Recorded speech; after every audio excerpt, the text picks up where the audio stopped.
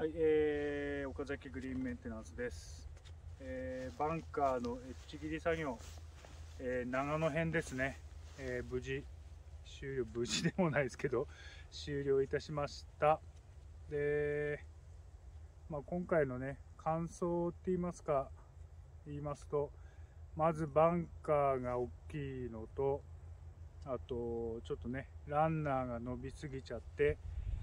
えー、作業が手こずったって言いますか、まあ、数をね、えー、こなせませんでしたけど、えー、まあ、でもねハーフ終わって、えー、まあ、個数でいうと30個ぐらいですかね、ま無事、ま終わったからいいかなと思います。で、まあ、こういった作業本当ね手間かかって、え我々朝から夕方まで、えやらせていただいてで管理の方はね朝と夕方っていう仕事はもう大体もうほぼほぼ決まっちゃってるんでやるとすると日中お客さんがいる中避けながら作業すると思うんですけどそれではねもう本当いくらも進まないですし、えー、効率も悪いんでまあ本当ね、えー、ていうんですかね全部その年全部やる、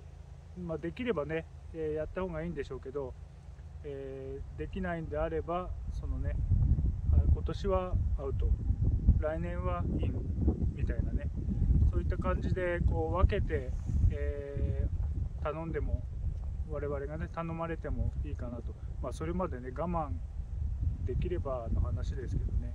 まあ、そういったやり方もありますしあとグリーン周りガードバンカーだけやってくれっていうありだと思うんで、まあ、そういった面で、えー、ご連絡いただければいいかなと思います。あと長野はね寒いです。ね。寒い寒い。風風は冷たい。関東でいうね真冬ですね今。ね10月下旬ですけど。寒い。でも食べ物は美味しいし、えー、でもどうですか？どうでした？寒かったです。長野バージョン。まあもう少しあのスパンを短くバンカ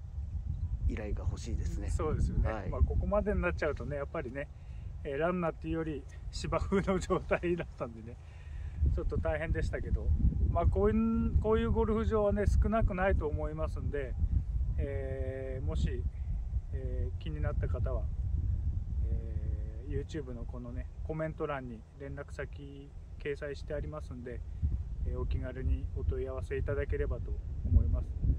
あのふざけた人とかあの冷やかしみたいなのはやめてくださいね。本当ね、えー、迷惑なんで、えー、本当真剣に考えてる、えー、ところだけ、え受けますんで、えー、ぜひよろしくお願いいたします。